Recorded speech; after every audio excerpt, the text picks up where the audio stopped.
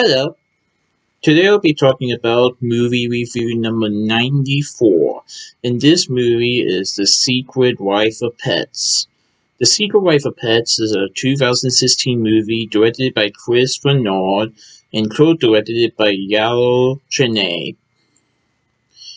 So I saw this movie on September 26, 2020 at the Regal Cinemas 16 in Deerfield Towne Center in Mason, Ohio. I loved it.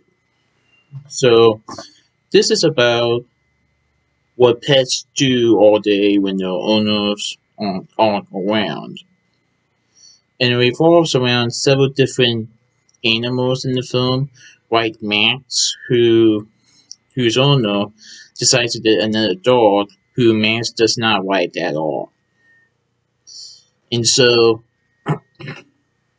Max and his new brother Duke goes on a journey in New York trying to escape from the pound after they get loose from the dog walker and they have to find a way back home before being confined in the pound. And they realize that they, they have more in common with each other than they thought and they're trying to write each other as brothers. So yeah, this was a very good film. It is definitely a kids movie, but I think anybody can go see it. It is definitely kiddie friendly, definitely laughable, enjoyable.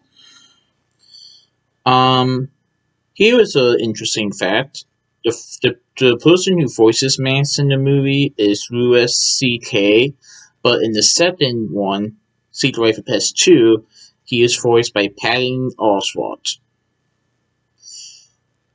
Without giving you guys detailed descriptions, because I like these like to keep these movie reviews like G rated or PG rated, PG rated. Um, I will say there were some allegations against Louis C.K. and the studio, Universal, decided to replace the actor. But I'm not going to get into much detail than that. But yeah, it is a very good movie. Like I said, there was a second film that came out three years later. I did see the second film in Oakley Theater last year, and I just saw it again in Regal Cinemas a few days ago. I will be talking about that later, but for the first film, I've never seen in videos. I've only saw it in DVD in preparation for the second one. But yeah, this was very, very good.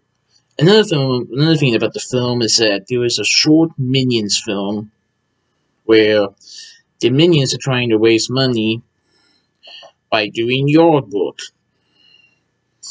and it is hilarious. I think it was the same film that was attached to screenings before the movie in 2016. I think so, anyway. But anyway, this is a very good film. It will make you laugh. It will make you cry a little. Only a little. But mostly make you laugh. But yeah, go check this out. It is very, very good that wraps up for movie review number 94. Please stay tuned for movie review, movie review number 95. Goodbye.